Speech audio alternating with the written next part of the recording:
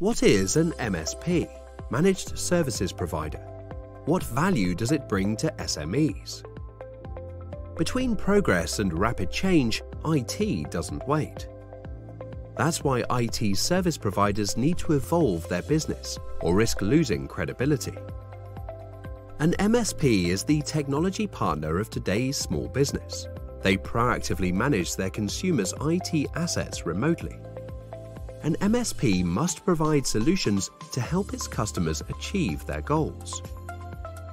An MSP understands cloud computing and knows how to deploy it effectively to deliver maximum value to SMEs.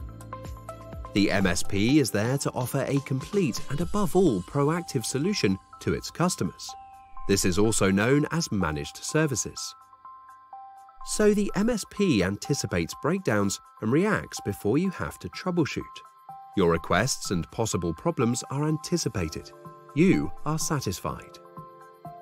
The MSP contract ensures that your IT management is under control with a fixed and regular budget.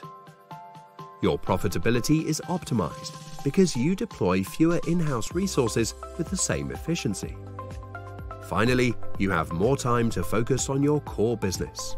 No more time-consuming tasks. The evolution from a traditional service to a managed service is essential to ensure the sustainability of your SME.